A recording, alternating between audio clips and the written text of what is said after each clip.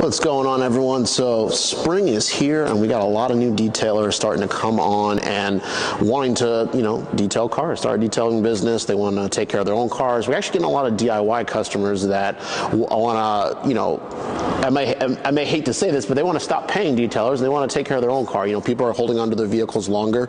Um, but here's a great example. This is a 2024 BMW i4 35, which is the all-electric BMW, and I must say, I think BMW did it right where you can't really tell this is an electric vehicle. Um, BMW basically just took their existing chassis and you know electrified it and called it a day because you know if I saw this running around on the road I would not be able to tell. These like, looks just like the regular um, the new BMW 3 Series the 4 Series and then they have the you know 5 and, and 7 Series but BMW did a really good job. Obviously you can tell with the rims and some of the little pieces on here look a little different but I do love the way this car looks because like I said you really can't tell it's electric. But on to the actual cleaning.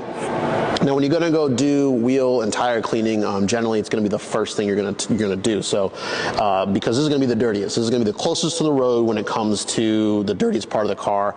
Also, the um, if you're going to do any engine detailing, the engine would be the dirtiest part of the car. But obviously, this car does not have an engine. But that would be the part you would start first, and then work your way onto the wheels and the tires. So, now we have a you know good selection of products here not necessarily saying these are the best products, but you know, at Detailing World we do sell all the good stuff. So we just have a you know three products here that we're going to